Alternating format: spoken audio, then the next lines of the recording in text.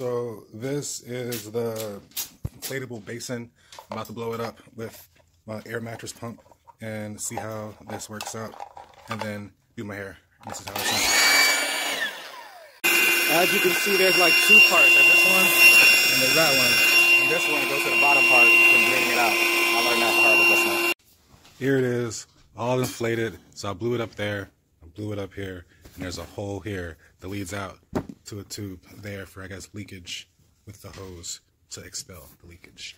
And now I'm gonna test it out with my hair inside and see how comfortable this thing feels. And we are going back for the drop. See how it goes.